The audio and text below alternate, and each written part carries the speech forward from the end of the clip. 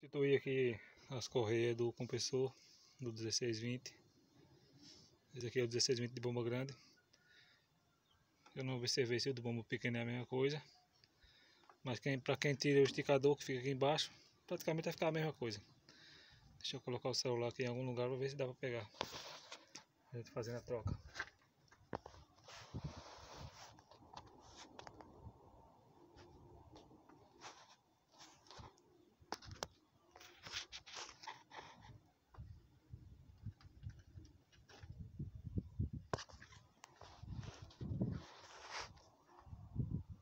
Primeiro vou colocar ali dentro.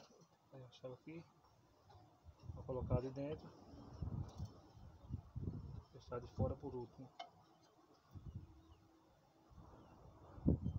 Aliás, deixa eu passar logo aqui dentro do compressor.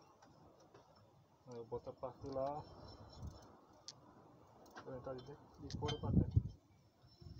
Não precisa de encaixar os dois. Pronto, encaixei lá.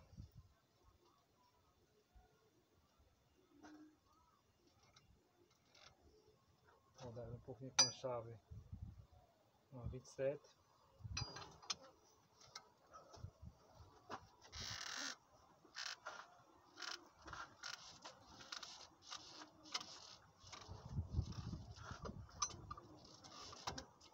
já foi. Vou colocar outra de fora a gente coloca por fora. De fora para dentro. Esse caso eu vou dar o compressor para cá agora.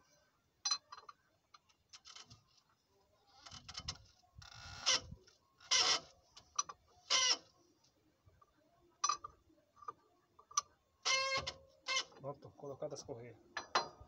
Simples e fácil. Eu tenho outro vídeo aí no canal ensinando a tirar elas. Uma maneira bem fácil de tirar elas. E também de colocar. Substituída. Vamos ver como é que estava a outra. Toda rachada. Toda rachada. Essa aqui na verdade é usada. Aqui são usadas essas duas. Mas essa aqui tá pior do que ela. Eu falei pro patrão comprar, disse que ia comprar. Eu vou colocar essas duas aí usadas. Porque essa aqui tá com muito rachão. Todas as duas estavam situação precária, não tem condição não. Também toda rachada.